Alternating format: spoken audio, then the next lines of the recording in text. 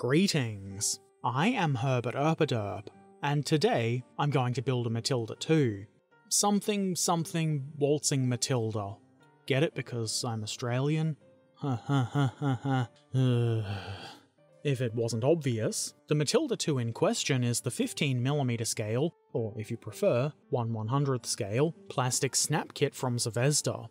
On the back of the box, we see the usual bits of information and a couple of pictures of the built but unpainted model. There's also an exploded diagram that would function as assembly instructions.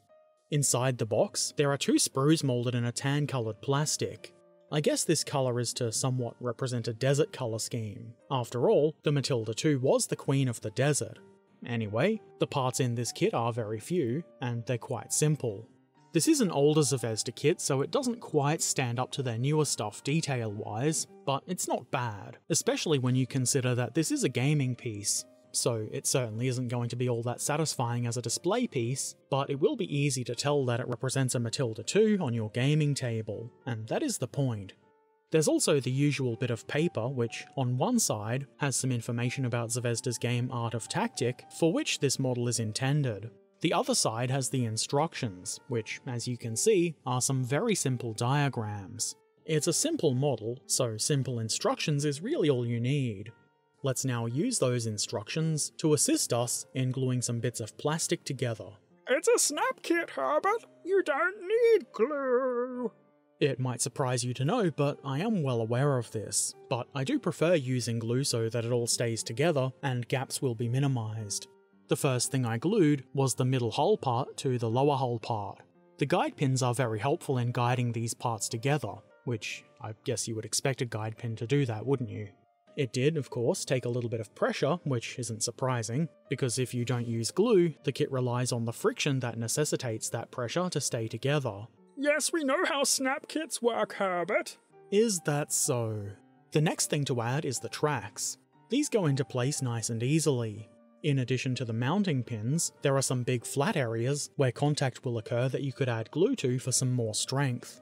The tracks, or really I guess it's a whole side part, and it does look like a Matilda, but the detail certainly is a little bit lacking. Like I said before, it works well enough for its purposes, which is as a gaming piece.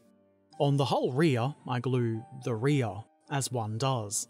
The part sort of slots downward into the keying for it, it's quite simple, and now we've got a Matilda 2 bot, which is the technical term. The upper hull goes into place next, and obviously it goes together easily. The guide pins are helpful, as there's enough glue to please the glue god, and a reasonable amount of pressure. There are still some gaps along the sides, and those wouldn't be too hard to fill with putty, but for this kind of model, I'm not so sure the gaps are that big an issue. At any rate, that's the hull completed, so it's turret time and this is one of the more simple turrets I've encountered. Sure, it's not one piece simple, but it is very simple. It consists of three parts. The frame, I guess, that goes around the gun mantlet, and this did need quite a bit of pressure to get it into place, which was kind of difficult to do while trying to avoid pressing on the guns.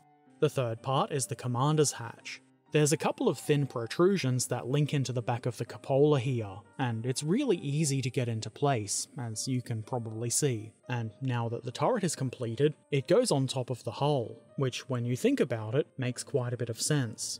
There's no locking tab mechanism here, unfortunately, but the friction should hold the turret in place quite nicely.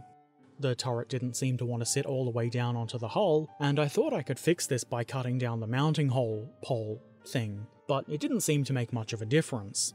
I don't suppose it matters a whole lot. What matters is the turret is in place, and the Zvezda 15mm scale Matilda 2 is now completed. And for what it is, it doesn't look too bad. Obviously, it's not even close to a super detailed display model, and if you bought this kit expecting that kind of thing, well, I don't know what to tell you. It isn't bad if you're looking for a simple representation of a Matilda 2. It's all about perspective. It does have a couple of big holes in the front that look as though something should be mounted in them, though there wasn't anything like that included on the sprues. All the parts, except the flag, were used. And you can see those holes in the picture on the back of the box, so I guess they're meant to be there. I kind of want to know why though. I don't think it's something to worry too much about, and like the gaps along the side of the hole, you could easily fill them with putty if you want. This isn't old as a Zvezda Snap kit, and its level of detail is about what I would expect for those, like the Panzer IV or Panzer 38T kits, both of which I've built in the past, and both of which didn't have all that much detail. I don't think it's a bad thing, it's just the way they are. And again, they are primarily intended as gaming tokens, which is a role they perform very well. Obviously, if it's a deal breaker for you, the thing to do would be not buying this kit, I guess. If you are looking for a Matilda 2 in 15mm scale, I do believe there's a resin model from Battlefront that's probably a little bit better in the detail department. I can't say for sure though, I don't have one. Beyond that, there doesn't seem to be much available in this scale, though in fairness I didn't search especially hard, and I would be happy to be incorrect. Anyway, I might be waffling a bit too much now. If you have any questions or comments, feel free to put them in the comment section below. If you've built one of these or any other cool models and you'd like to share, why not drop by our friendly Discord community and show us some pictures? That would be rad. If you want to watch me build models like this one live on stream, head on over to my Twitch channel and give me a follow. There's a link in the description below.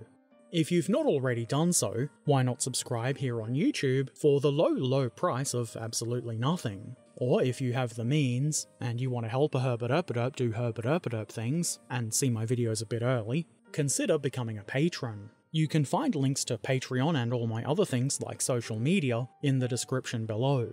And as always, I shall return soon. So until then, be excellent to each other, have a glorious day, and thanks for watching.